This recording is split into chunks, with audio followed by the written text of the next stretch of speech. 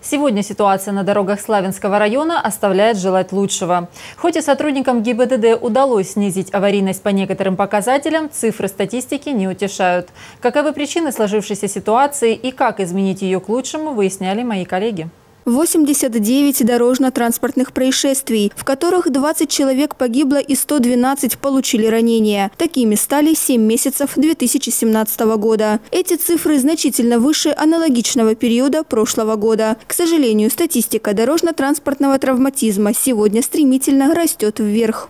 Как правило, летний период обусловлен тем, что значительное количество транзитного транспорта Э, движется по дорогам нашего района, как в сторону Азово-Черноморского побережья, так и э, в сторону Республики Крым.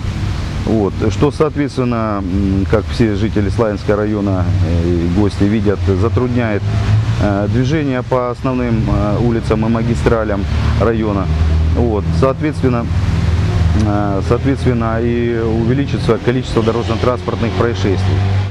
За год в автомобильных авариях погибает больше людей, чем в авиа- и железнодорожных катастрофах. И несмотря на это, водители продолжают нарушать правила дорожного движения. Выезжают на встречную полосу, не желая стоять в пробке. Не пропускают пешеходов, чтобы не тратить свое время. В этом году по причине выезда на встречку было зарегистрировано 15 ДТП, в результате которых 6 человек погибло и 30 получили ранения. Также зарегистрировано 4 аварии с участием пешеходов, в котором один человек погиб и трое получили травмы. Первоочередное, э, на что необходимо обратить внимание нашим жителям, э, водителям нашего района, это все-таки на бдительность и проявление уважения, в том числе и к приезжим э, гражданам, поскольку все прекрасно понимают, что погодное условие устоялось довольно-таки теплое. Вот, значит, плюс э, сказывается усталость э, в движении на автомобилях, как, как в одном, так и в обратном направлении.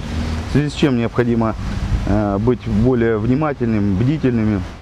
Постоянные напоминания и призывы сотрудников ГИБДД к соблюдению правил дорожного движения не всегда оказываются эффективными. Водители, да и пешеходы порой слишком беспечно ведут себя на дорогах. А ведь это то место, где всегда необходимо быть предельно внимательным и проявлять уважение к друг другу. Тогда и трагедий можно будет избежать.